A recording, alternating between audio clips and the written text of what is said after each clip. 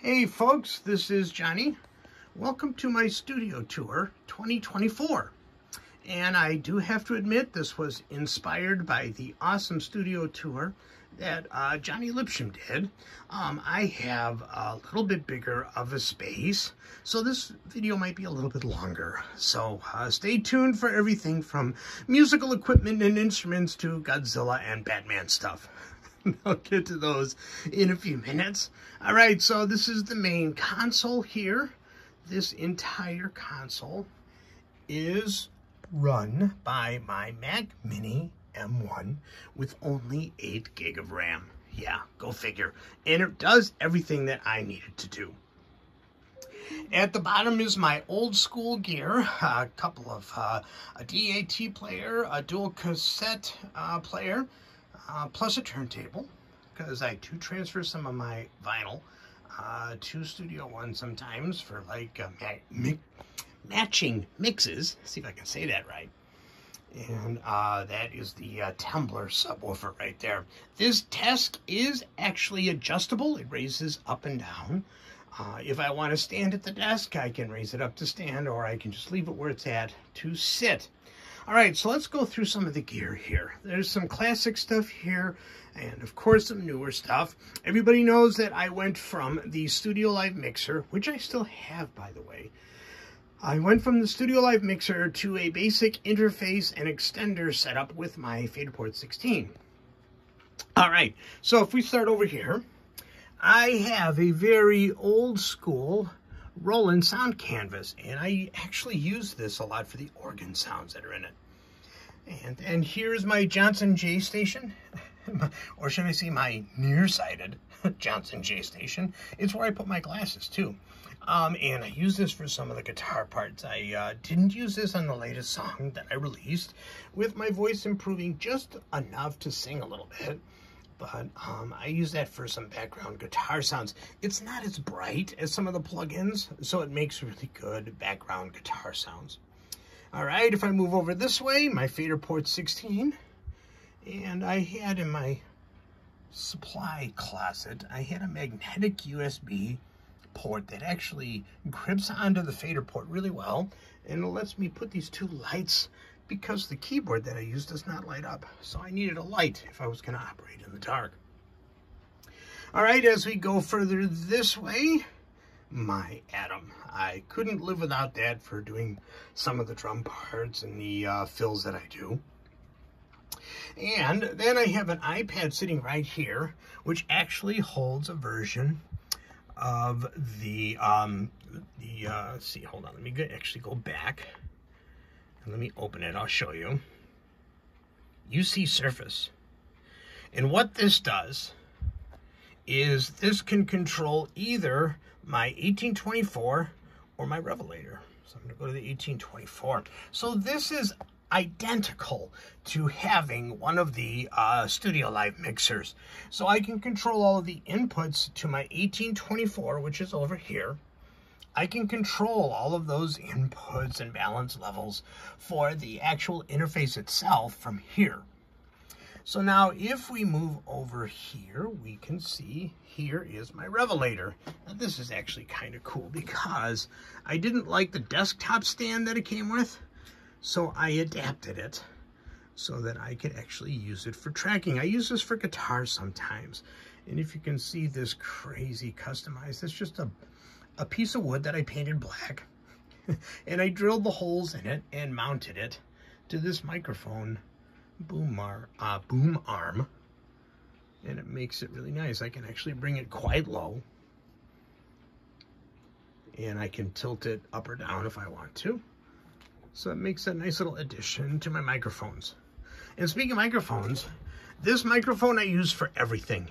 This is the PreSonus PD70.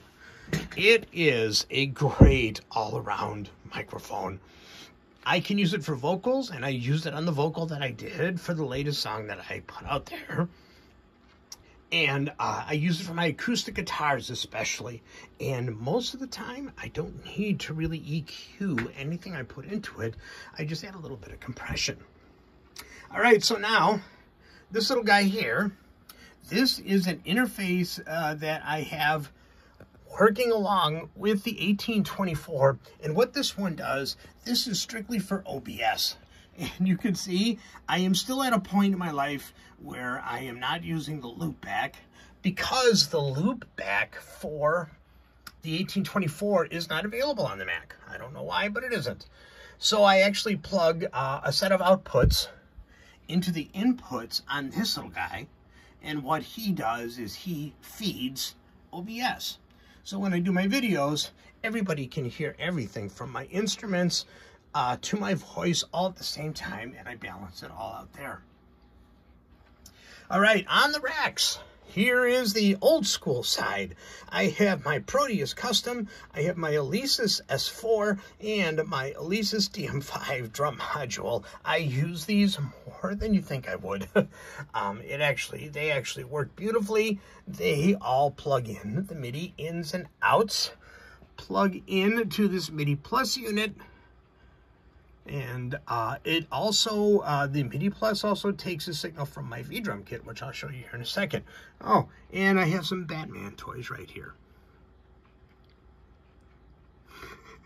I'm a child. What do you want? All right, so uh, that is that for that side of the rack. Now, on this side of the rack, I have my HP60 for all my headphone mixing. I have my 1824 for all of my main inputs, and then I have a really old Digimax D8, which is eight more inputs to take the, um, to actually uh, take the outputs of all my old school gear, plus my turntable and the uh, two uh, tape units. They all plug into there, or they all plug into the patch bay, and then I use the patch bay to actually get the signals into Studio One. It was easier with the mixer, but I like this form factor a little bit better. All right, so the upper shelf. I told you this was going to be long. I am using the uh. Uh, these are the Eris 44s. I love these. There is one thing to remember. If you're using the Eris 44s, is that you uh, cannot put them sideways. They sound, I don't know, they to me, they sound terrible sideways. All right, then I have on the shelf, I have an HP4, which is really awesome. It's a secondary module that actually powers the speakers coming out of the main outs of the um, 1824. Next to it, or on top of it, I have it's an old school floppy drive uh, from a really, really old Mac. And yes, I do have some discs that I actually have to access from time to time. Has some of my old pictures from back in the 80s and 90s. But I do use that. And then I got a nice little um, uh, Bluetooth speaker. And that's where my camera sits. So now over here, there's my CD player. There's a really old cell phone that I'm actually fixing. And there is my Alexa unit. Very, very cool. And then I have my guitar lights. Here's one, and here's the other. And then I have these light bars that I got on Amazon that I really like when I'm actually playing music. Uh, they actually help me keep a consistent level in my room. They're nothing accurate, they're nothing fancy, but they help me keep a consistent level in my room when I'm mixing. And I know that if the light bar lights up too much, I've got the music too loud. So it's kind of a rudimentary way to control that. And up above, I have mounted to my console, I have mounted two lamps. That one and that one. And the cool thing about these lamps is, see if I can get it to light up now. There we go. I can actually mood, um, I'm trying to say the word mood. There we go. Mood light the room. So I can change it to red, I can change it to blue, and so on. So it really gives me a lot of control over the, the way the room feels when I'm mixing. So there you go. So now I've got two monitors hooked up here. I've got a uh, regular flat screen right here for my main uh, control of Studio One.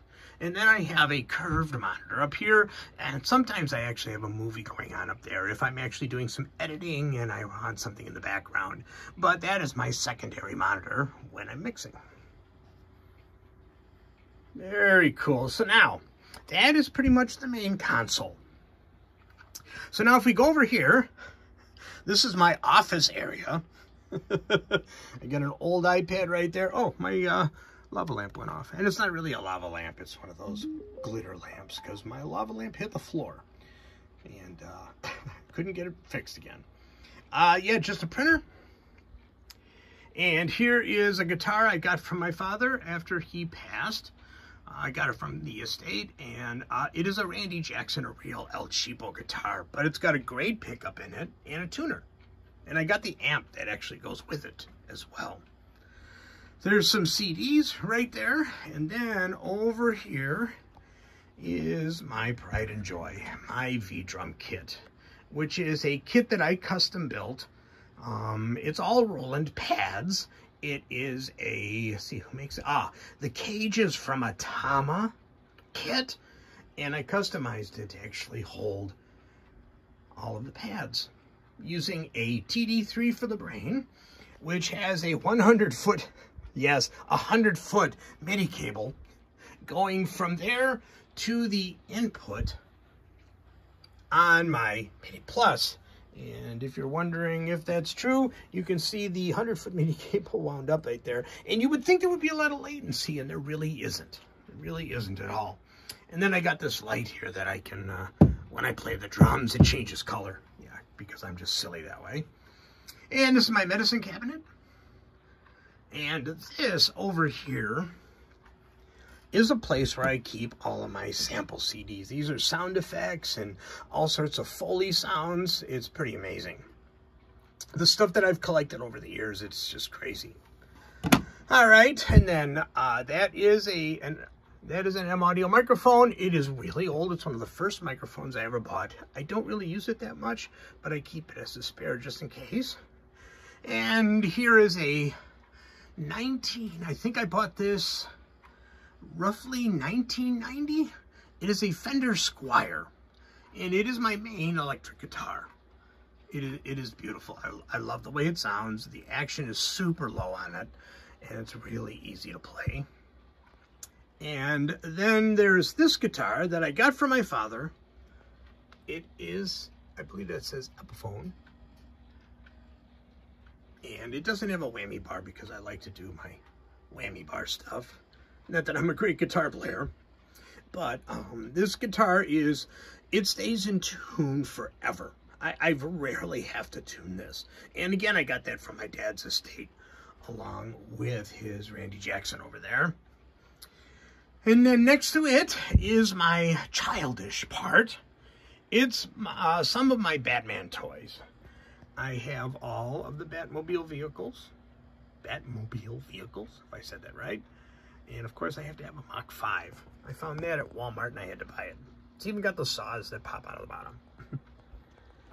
and then these are my bat just this is just a portion of the Batman figures that I have. Got this huge three footer right there. And that is the uh, Christopher Nolan Batman. And then there is Affleck's Batman, and then Batmite. it's actually a piggy bank, along with that being a bat. That's Bat Pig. And then just some other assorted uh, Batman figures. I've even got the Batman figure uh, in there somewhere. I think he's in the back there. And then, to top off my childish Uh, childishness, I can't remember, and I so much apologize who sent me this. It was gifted to me from one of my home studio trainer fans, and he sent me a Batman guitar, which I have almost completely fixed up. The action is actually still pretty good. It's got some mileage on it, and it's missing a knob, but I replaced some of the electronics in there, and I have actually got it to work, but it buzzes like crazy. So that's my Batman guitar. And then, of course, since I work nights, My wife and I during the week sleep in separate areas. She has the bedroom upstairs and I have my bed down here because my work computer is right there. I work from home, but I sleep down here during the week. So that's my bad bed. And then something that Johnny was actually talking about in his video, he didn't have a place for all of his wires and cables. This is just one section that I have a ton of wires and cables on. Plus all of my little guitar parts. Just like that. And I got my fan and I got my noisemaker. And across the top, I have a couple of percussion instruments, the ones that I use the most just up there. And there's a corner light. You can see that the area above the console is soundproofed. And the area in back, I've used, I had really bad flutter echo. And I tried to put these bass traps along the corners. But it's, I still couldn't get rid of the sound. So just out of sheer having, not having any other um, options. I put them up there, and sure enough, the flutter echo went away. All right, so that is room number one. And this is where I do all of my main work. All right, so room number two, and, and it looks bigger in video than it actually is. This room is only nine feet by nine feet. All right, let's go into the other room. This, uh, yeah, we ran out of storage, so I had to put that stuff there. But this is my son's workout area. And since he is into security, uh, we have a couple of vests in here that he wears on some of his jobs. And a punching bag. When I really piss him off and uh, when, I, when I don't want him to punch me, he uses that. I'm kidding. I'm kidding. My son and I don't fight at all. Thank, thankfully, he'd kill me. All right, so you can see I got some of the artwork from my kids when they were little. Here's a picture of me and my brother and my first dog right there. Look at that. I think I was, what, six years old? No, no, he's older. So yeah, I would have to be almost 10 because I think he's close to five right there. And there is an award that my daughter received. She wanted me to hang it in my studio. And now, for the other childish section, I have my Godzilla collection. Now, I would love to actually say that these are toys that I had as a kid. Oh, we couldn't afford toys like this when I was a kid. So, so as soon as I grew up, I went out and I bought them all. I know I don't have all of them, but it is a big collection. There's all my Godzilla movies and Gamera and all sorts of stuff. I've even got a couple of the toys from the newer movie. There's Kong and Godzilla US and Shin Godzilla and just everything. Just like that. Pretty cool. I'm very, very proud of my toy collection. All right, there's some birthday cards from my family. And yes, this is a Batman jacket. And yes, I can wear it now. After losing about 35 pounds now, I can finally fit into it again. All right. As far as music goes, this is my PC section. This is where I do most of my training because most of my clients are PC based, uh, especially some of the older clients that I have. And I have a whole group of people that I teach that are 50 and older. And most of them are on PC. I got a couple that are on the Mac, but I needed to actually come up with a, um, I needed to come up with an option for the PC folks so that when I actually showed them stuff, they would be able to uh, follow along easier. So on this rig, I've actually got the uh, IO Station 24C. I've got the um, the PreSonus uh, Eris 3.5s. I have an AudioBox Go that's hooked up, but I don't use it for this rig. And then I have a little camera. I have the mic. And then I have this for the keyboard here, my Akai P, um, MPK Mini. And the PC is down there. And I have an on-air sign that changes colors. And then the lights that I actually use to actually light up the room. Oh, there's my Beatles CDs. All right, so over here is my kitchen. oh, I put my drink up here. I was going to take that down. So this is my kitchen. Uh, when I'm actually down here at night, I don't like waking up the rest of the family because my dinner time is like midnight, 1 in the morning. And I use this to actually cook my food. You got a nice big fridge right there. Excuse me as I take a drink. And over here, oh, this is the, oh, I got to show you guys this. I didn't even think to show you guys that. This is my turntable area. Here's my son's video games, TV, tons of videos that we probably don't even watch anymore because everything's online. This whole rack here on this side is all my Beatle albums. As uh, this part has the rest of my Beatle albums plus my Everly Brothers. And then the rest of it is really just uh, random stuff that I've collected over the years.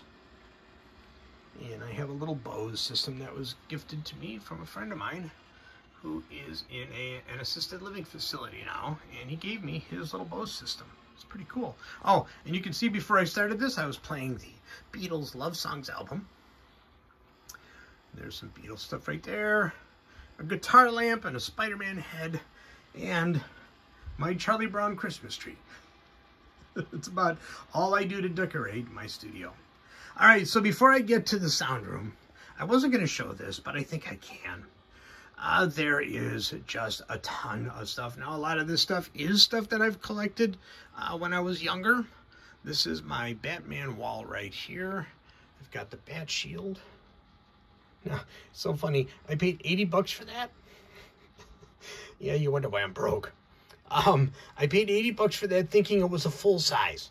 So I was wrong. And there is uh, a lot of this stuff is stuff that uh, my friends and family have given me over the years for Christmas. There's the Adam West Batman. Cesar Romero Joker. And Robin right there. And this is a bat that my son did for me in his metals class. They actually used uh, torches to actually cut this out on some sort of a machine where you put in a pattern. Let me take this off here. And he made that for me. It is freaking awesome. Oh, and there's the Riddler. And yes, I have an abacus. And there's Spidey.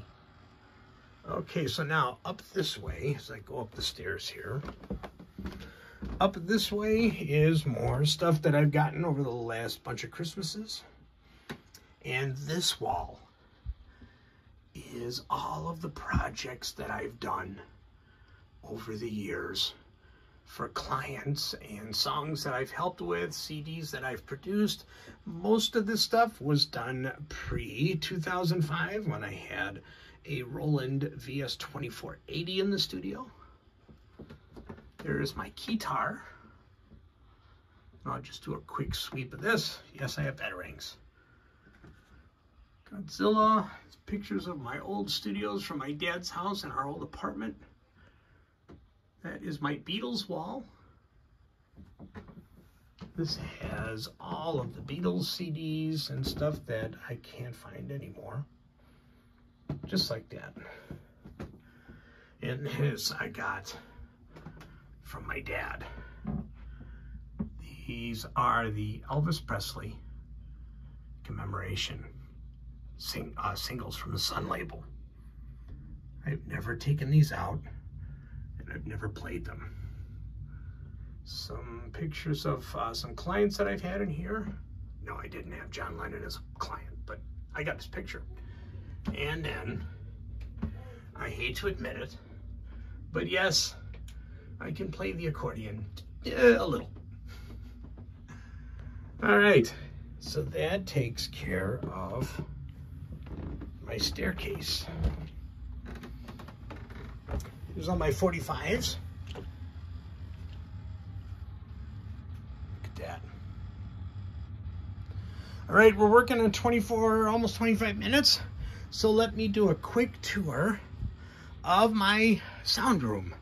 Now this room is only nine by five. So it's really, really small. It's like uh, five and a half. So let me quickly go through some of this stuff. I have this mic, and of course its cable runs into the main room. I have my percussion set up here. I have an 88 key piano. This is just a Casio. Really simple. And uh, there's a microphone stand here with just PreSonus mics. I'm a big fan of the M7 microphones. And I use them for a lot of stuff. Now behind the curtains is my storage. And I will not, well, I'll give you a peek. So see, it's crap. so I put up these blackout curtains so that I could change the size of the room. All right, there's the bells that my daughter uses and my chimes. And this is my daughter's drum kit, her acoustic drum kit. We're getting ready to sell it. It's a trap kit. Doesn't sound great, but it was perfect for testing uh, microphones and for her to practice for band when she was doing her jazz band stuff. She has since graduated, so we're going to figure out what to do with this.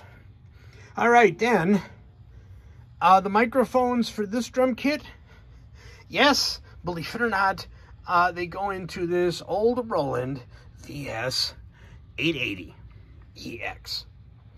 Yes, I still use it, believe it or not. And up here, more percussion. And my other cable wall. Very cool. Oh, and one more thing. To know that you're doing well and you're a good musician, the best teachers in the world are the Beatles. It's it's cool to have them up there, but it's kind of horrific because they have these giant nails going through their necks. it was the only way I could think to get them up there I couldn't put a shelf up there. But um, anybody that comes to the studio and we use this for their vocals, they love seeing these up here. And I had one guy tell me that it was very inspirational to have the Beatles watching him from above. Very cool. There's my daughter's acoustic guitar. It looks black, but if you look close, it is a gorgeous kind of a marble blue. And then I have a couple of control surfaces back here. And that is my sound room. I have the window there, but I can't use the window because the monitors on the other side are actually blocking it. So I just went ahead and uh, this is a picture from my dad's house. I love this with the giant cat ebony and ivory. Isn't that gorgeous? And folks, that is it. I have never done a full basement studio tour before. Now, believe it or not, this is the stuff that is left over from the uh, equipment that I had to sell. And as time goes on, depending on how things work out this year, I might be selling one of these setups uh, because I might have to uh, bring a, uh, stuff from a storage space down, so I may lose one of these rooms, but I hope not. I hope not. And I can close this right here now. There we go, just like that. But that's it. That's it. Tell me what you guys think. Leave some comments. Uh, if you have any questions about how I run things, how I have things wired, I would actually be happy to show you. And no, I don't play with the toys. But you want to know something? Sometimes I feel like I should. Between the Godzilla toys and all the Batman toys and stuff like this. You know, probably when I'm like 80 years old and if I'm living alone and nobody's home, maybe I'll do an adventure with my toys again. I know that's that's weird. Oh, one more thing. Over in this corner is my classic video game setup. So you can see I got my reel-to-reel, and I've got all the uh, reel tapes. Well, that's only a portion of them.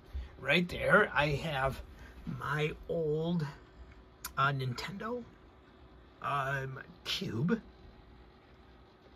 And then I have my Atari. And then I have some random controllers and a little TV to play them all. Okay. Oh, and that's the cat bed. And he has Pax, our new cat, lives down here with me. Most of the time.